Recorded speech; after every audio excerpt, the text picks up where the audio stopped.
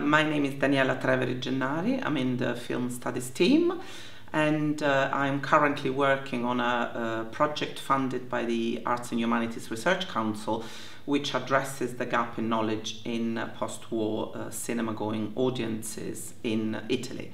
Um, and uh, what we're doing is interviewing people that used to go to the cinema at the time. So we're doing an ethnographic sort of research, and we're combining that with uh, a study of film programming and uh, exhibition to really reevaluate what uh, film meant for uh, Italian spectators. And uh, we're also trying to recreate film history from a different point of view.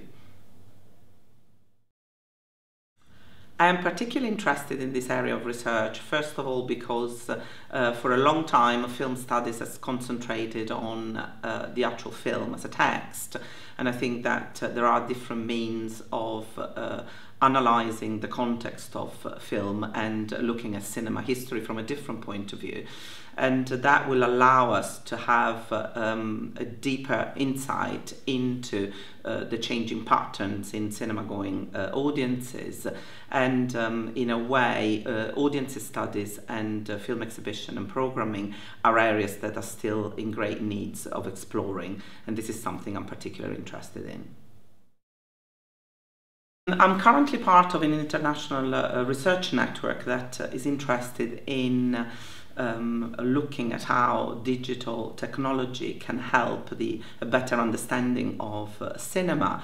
And uh, this is really what uh, uh, I'd like to bring to the MA at the moment, I work with software that analyze um, film exhibition, film programming, and film consumption, as well as uh, developing questionnaires and surveys for uh, uh, audiences. And uh, these are they will be part of what I will be sharing with students of the MA the digital turn into film and cinema studies has brought in a lot of new film historic data that uh, needs to be investigated. So it's almost cinema crossing over to digital humanities, which has uh, given a lot new uh, insight into the discipline.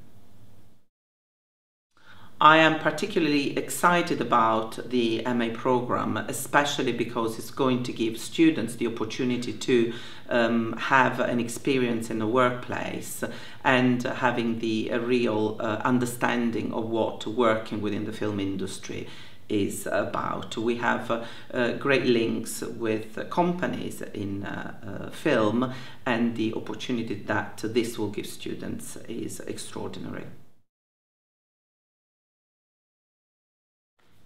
Students in the past have had the extraordinary opportunity of working in organization as prestigious as the BFI. We've had students working in uh, the Sight and Sound magazine, their Sight and Sound magazine, but also in working in being involved in uh, um, Universal Studios in London or Pinewood Studio. In fact, a couple of years ago we had one student uh, working on the sound editing of Slumdog Millionaire. Um, but also the other aspect that is very interesting is that students have got the possibility, if they, if they want, is being involved in our research projects. And I've had uh, several students that have helped me in conducting research, in making films for uh, one of my researchers and uh, also um, organizing conferences and uh, uh, event with the film industry that for them is an extraordinary opportunity and for us is a great help. I think I'm extremely lucky because uh, what I'm passionate um, about, which is uh, research and specifically research into audiences, is absolutely vital to understand past and current industrial trends, but at the same time is uh, very important because it does equip students with valuable skills that they will need to use in, uh, if they want to work in the film industry.